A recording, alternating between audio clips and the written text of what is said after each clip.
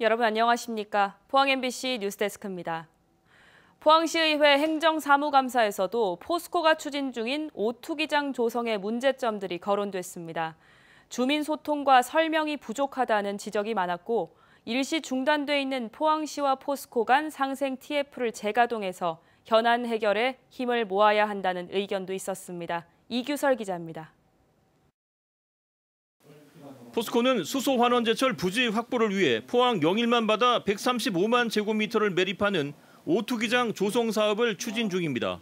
조용원 의원은 여의도 면적의 절반에 해당하는 바다를 매립하려면 무엇보다 주민 지자체와 충분한 소통이 선행되어야 한다고 지적했습니다. 이번에 그 오투기장 하면서 이렇게 그 지자체하고 어, 소통이 안 돼서 가는 거는 지자체를 무시하는 거라 난 그, 그런 거거든요. 국장 어떻습니까? 이 문제에 대해선 포항시의 입장도 크게 다르지 않았습니다. 뭐 그런 부분에 대해서 아쉽게 생각하고 있습니다. 왜냐, 왜냐하면 우리가 뭐 어떤 큰 정책을 할 때는 어, 지자체는 물론이고 어, 지역 주민들인데 그 부분에 대해서, 대해서 충분하게 어, 앞으로 향후 계획이라든가 그런 부분에 대해서 어, 설명을 하고 난 다음에 공감대를 형성해서 그렇게 추진하는 게 저는 맞다고 생각합니다. 김민정 의원은 포항시와 포스코가 7차례 만나 진행했던 상생 TF가 일시 중단된 이유에 대해 물었고 포항시는 포스코가 소극적인 자세를 보이고 있다고 답했습니다.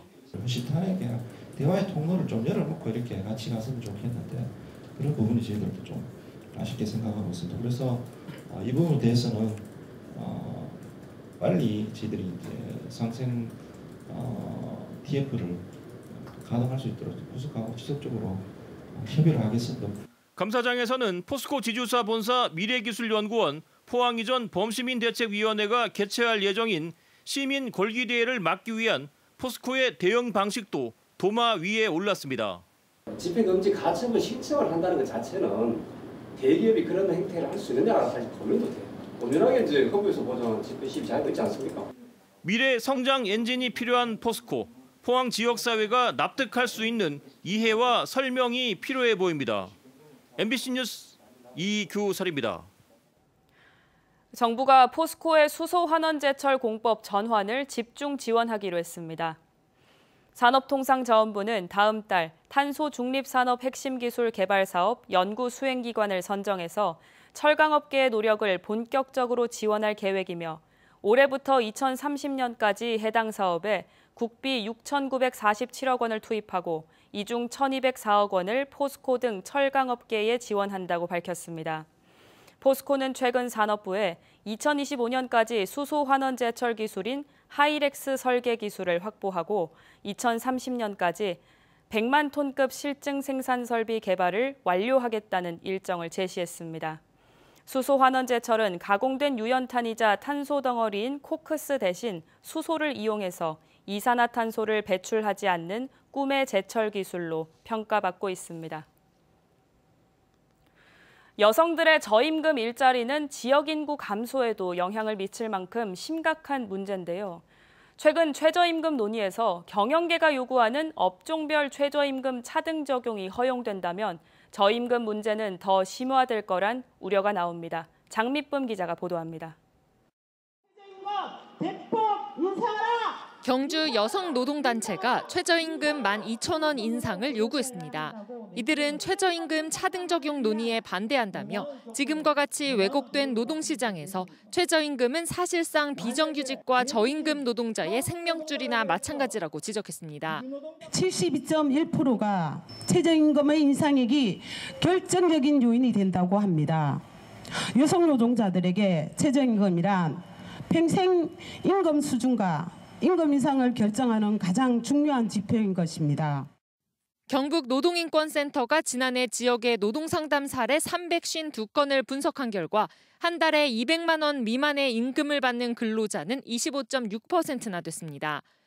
200만 원 미만 근로자 가운데 61.3%가 여성 근로자로 남성보다 여성의 비율이 더 높았습니다. 200만 원이라는 기준이 최저임금 선에 해당됩니다. 그래서 최, 최저임금 인상이 바로 어, 어, 저임금 여성 노동자들의 최고임금이 되고 있는 현실을 그대로 보, 여주고 있다고 하겠습니다. 상담건 가운데 절반 이상이 기간제 또는 하청, 파견 노동자, 시간제 등 고용이 불안정한 노동자들이었습니다. 지속되는 물가 인상과 왜곡된 노동 구조 속에 있는 저임금 근로자들에게는 역설적으로 최저임금이 임금 인상의 유일한 가능성이라고 주장했습니다.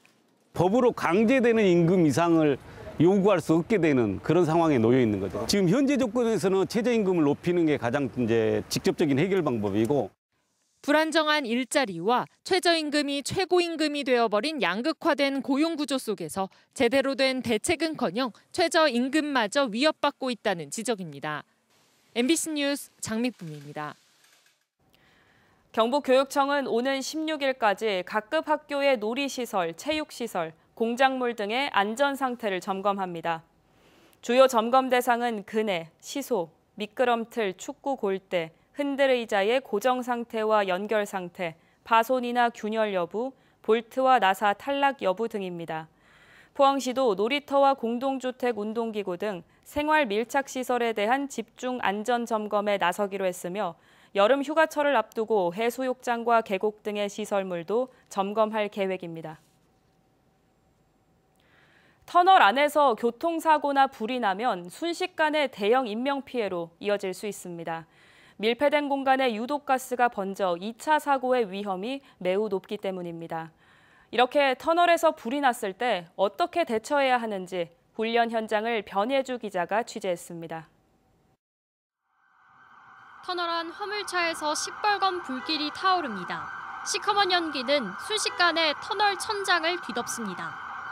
4천여 미터로 대구에서 가장 긴 앞산 터널에서 사중 추돌 사고를 가져간 대비 훈련이 열렸습니다.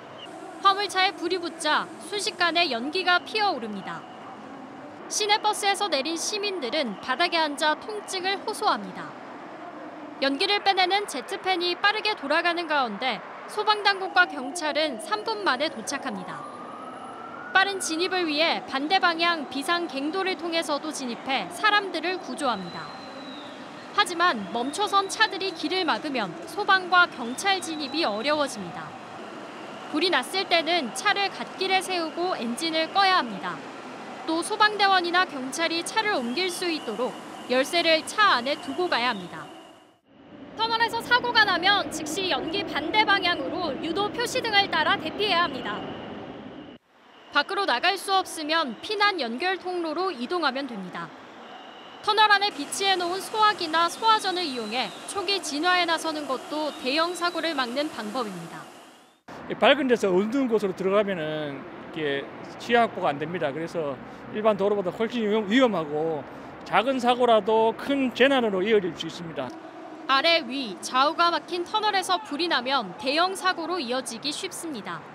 터널 진입 전 속도를 줄이고 안전거리를 확보해 사고를 예방하는 것이 무엇보다 중요합니다. MBC 뉴스 변혜주입니다.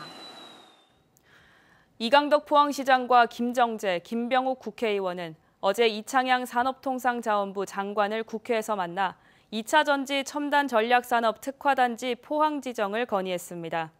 이날 면담에서 포항은 양극재 생산 세계 1위 도시로 리사이클링부터 양극재까지 2차 전지 소재 전주기 value chain이 구축된 유일한 도시라고 설명했습니다. 또 2027년까지 14조 원의 기업 투자가 확정돼 있어 투자 활성화를 위해 국가 차원의 지원이 필요하다며 특화단지 지정의 필요성을 강조했습니다. 소멸 위험 지역인 농촌에서 사라지는 건 인구만이 아닙니다. 시외버스 터미널도 갈수록 운행 수익이 줄면서 하나둘씩 문을 닫고 있습니다. 시외버스를 대체할 교통수단도 마땅치 않아서 생활 자체가 위협받는 처지에 놓였습니다. 이도훈 기자입니다. 10년 전 영양군으로 기농한 박창희 씨. 안동 가는 거 주세요. 네. 만성 질환으로 일주일에 한 번 정기적으로 안동의 종합병원을 찾는 박 씨는 영양 시외버스 터미널을 이용합니다. 다섯 군데 가니까 매일 가다시피 가야 돼. 차도 없는 사람이잖아요. 같은 버스에 탑승한 김기진 할아버지도 안동을 거쳐 대구의 병원까지 가는데 유일한 교통수단은 하루 10차례 다니는 이 시외버스뿐입니다. 버스로 아이고, 아이고는 이용하면 못 가지요. 그런데 영양군의 유일한 관문인 시외버스 터미널이 최근 문을 닫기로 했습니다. 계속 줄어드는 매표 수수료 수입으로는 운영이 더는 힘들어진 겁니다. 터미널의 지난달 순수익은 250만 원. 인건비 한 명분도 채 안 나오는 수준입니다. 저희들 매표 수수료가 10%인데 그 10% 가지고 직원들 어, 봉급 주기도 어렵다. 저희들은 수입을 한 푼도 가져올 수가 없습니다. 이웃 동네 봉화도 사정은 비슷합니다. 버스 회사가 노선을 점차 줄이면서 매표 수익도 덩달아 급감해 역시 폐업을 준비 중입니다. 2009년 당시 봉화 시외버스 터미널의 버스 시간표입니다. 영주와 상주를 거쳐 대전으로 가는 버스가 하루 세 번 운영됐는데 보시는 것처럼 현재는 단 한 번도 운영되지 않고 있습니다. 이 노선뿐만 아니고 전체적인 노선의 70% 가까이 줄었습니다. 20년 전이라는 지금은 상황이 확 틀리죠. 옛날하고 지금하고는 그 농촌 인구가 급격히 감소함에 따라서 그 수익률도 엄청난 차이가 나죠. 민간에서 운영하던 시외버스 터미널이 잇따라 영업 중단 방침을 밝히자 자치단체 발등에도 불이 떨어졌습니다. 봉화군과 영양군은 민간 터미널 부지를 아예 매입해 공영제로 운영할지 검토 중이지만 운영비를 포함해 수십억 원에 달하는 예산이 고민거리입니다. 우리 영양군이 어, 굉장히 예산이 우리가 이제 어려운 상황입니다. 그래서 이제 우리가 보조를 받아야 되지 않겠습니까? 국가나 코로나 전 64개이던 경북 지역 시외 터미널은 그 사이 6개가 줄었고 농촌 터미널을 중심으로 앞으로도 계속 문을 닫을 가능성이 큽니다. 생활 필수 시설로 여겨지던 시외 버스 터미널마저 속속 존폐 기로에 놓이면서 지역 소멸의 또 다른 살풍경으로 다가오고 있습니다. MBC 뉴스 이돈입니다. 경북 소방본부는 대형 산불에 대한 초기 대응 능력을 높이기 위해서 울진 8개 읍면 지역에 비상소화장치 71개를 설치했다고 밝혔습니다. 비상소화장치는 소화장치함과 hose reel, angle valve 등으로 구성된 일체형 소방시설로 산불 우려 지역에서 주민과 소방관이 옥외 소화전 등과 연결해 신속하게 사용할 수 있도록 고안됐습니다.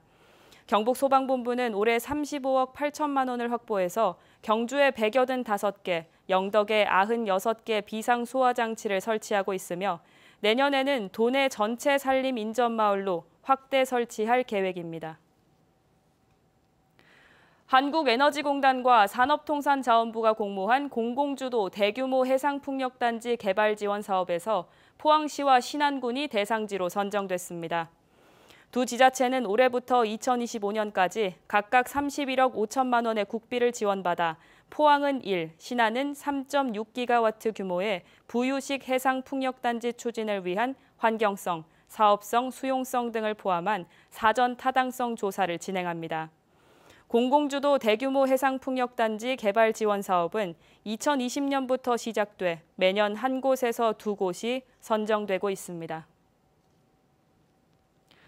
포스코 복수노조 중 한 곳인 민주노총 포스코지회 포항지부가 금속노조 탈퇴 절차를 마쳤습니다. 이에 따라 포항지부는 포스코 자주노동조합 설립 신고증을 받아 기업노조로 전환하게 됩니다.